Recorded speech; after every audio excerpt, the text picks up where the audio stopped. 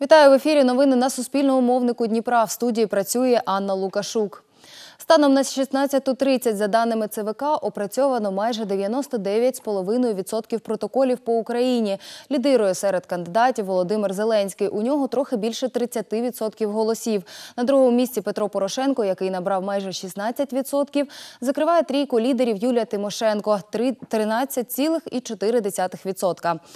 По Дніпропетровській області на 16.30 оброблено 99,94% протоколів. Згідно з ними, 45,3% виборців проголосували за Володимира Зеленського. Далі йде Юрій Бойко, який набрав 12,36%. На третьому місці Олександр Вілкул з майже 11%.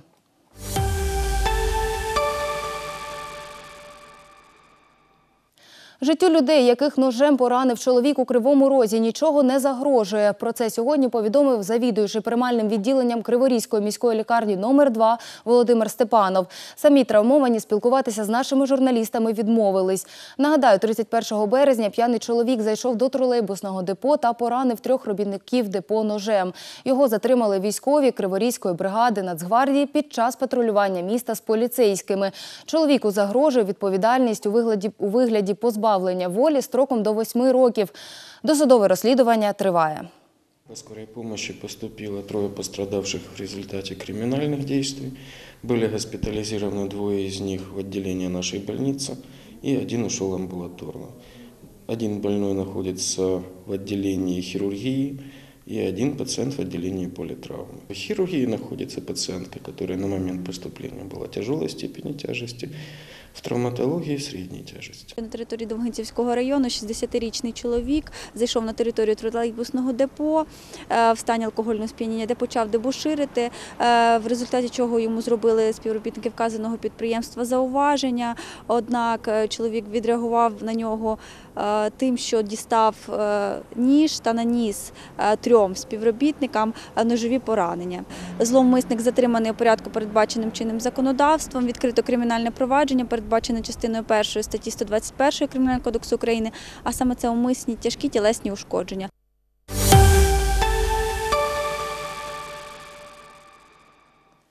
Четверо працівників Дніпропетровського академічного театру опери та балету звинувачують виконуючого обов'язки директора Костянтина Пінчука у знищенні театру непрофесійності та некомпетентності.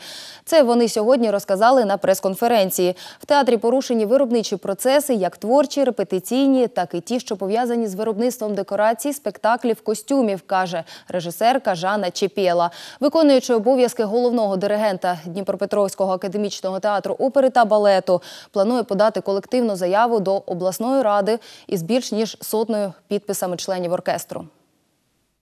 Підпільне анкетування, збирання колективу без відома керівництва, е, підписи, фальсифікація всіх е, наказів. Театр хочуть перетворити.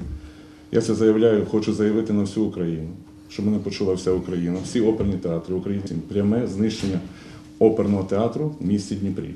Це цілеспрямована комерційна структура, яка хоче захопити протизаконно наш театр і нав'язати їм свою е, репресивну політику. Сам виконуючий обов'язки директора театру опери та балету Константин Підчук каже, звинувачень не чув, конфліктів ні з ким не мав. Розказав про досягнення театру за три місяці свого керівництва. Ми зробили Ми зробили три прем'єри в театрі. Це насправді дуже багато. Зараз підписали контракт. Я можу вам його показати із швейцарською компанією на постановку дитячого класичного балету Білосніжка і семеро гномів. Контракт на співфінансування та гастролі у Швейцарії і Франції. У нас підписаний контракт на гастролі з італійською компанією. Продаж квитків зріс приблизно в середньому на 200 тисяч гривень більше за місяць. І завдяки цьому ми змогли за рахунок особисто зроблених коштів підняти зарплатню всім співробітникам театру на 10%. Повністю прибрали ярмарок. В березні не було жодного. Я не хочу, щоб наш театр був схожим на ринок. У Дніпрі видають електронні рецепти у рамках програми Доступні ліки. Обов'язковою умовою є укладена декларація з лікарем. Виписуватимуть рецепти сімейні лікарі, терапевти та педіатри. Отримати ліки за електронним рецептом можна буде у будь-якій аптеці. Препарати у рамках програми Доступні ліки видають на три групи захворювань. Это сердечно-сосудистые заболевания. Как вы знаете, что 65%... Це серцево-судинні захворювання. 65% смертності українців складають саме ці захворювання. Також це цукровий діабет другого типу. Ним хворіють в 5 разів частіше, ніж цукровим діабетом першого типу. Тому обрали саме цукровий діабет другого типу для цієї програми. Та бронхіальна астма частіше за все страждає працездатне населення, молоді люди. І ще вона добре піддається лікуванню. У Дніпрі на європейській площі влаштували акцію до міжнародного дня розповсюдження інформації про проблему аутизму. Десятирічний Мирон, який має аутизм, заспівав пісню, яку для нього написала його мама. До акції також долучилося 35 учнів дніпровських училищ, які підготували танцювальний номер. На заході, за нашими підрахунками, зібралося близько півсотні людей.